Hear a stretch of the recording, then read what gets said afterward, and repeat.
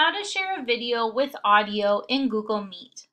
If there's a video that you'd like to share with the attendees in your meeting, you can do so very easily by selecting the Present Now button in your Google Meet.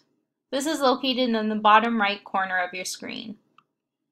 Once you click this, you can select to share your entire screen with the attendees in the meeting, share a specific window or browser from your computer, or share a Chrome tab. This is the best option for sharing video and animation. Once you select this, you can choose the tab that you have the video open with.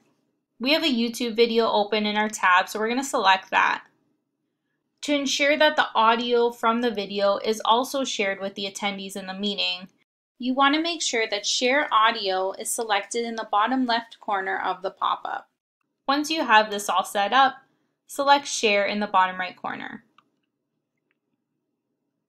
As you can see at the top of the screen, you're notified that you're currently sharing this tab with your fellow teammates in Google Meet. If we go back to our Google Meet, you're also notified that you're presenting to everyone. And if you select the presentation tile in the top right corner of the screen, you can see what others are viewing and how your screen appears to them.